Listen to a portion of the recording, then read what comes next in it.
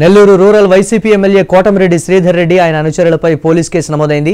నెల్లూరులో జమీన్ రైతు వారపత్రిక అధినేత డోలేంద్ర ప్రసాద్ ఇంటిపై కోటమిరెడ్డి అనుచరులు దాడి చేశారని ఆరోపణలు. జమీన్ రైతు వారపత్రికలో తమకు వ్యతిరేక కథనాలు రాస్తున్నారంటూ కోటమిరెడ్డి అనుచరులు ఈ దాడులకు పాల్పడినట్లు ఆరోపణలు. వేదాయపాలెంలోని డోలేంద్ర ప్రసాద్ ఇంటిపై ఈ దాడి జరిగింది. చట్ట ప్రకారం ఈ కేసును విచారిస్తామని పోలీసులు తెలిపారు. ఈ దాడి ఘటన గురించి తెలుసుకున్న నెల్లూరు మాజీ మేయర్ అబ్దుల్ అజీజ్ తదితరులు డోలేంద్ర ప్రసాద్ను పరామర్శించారు.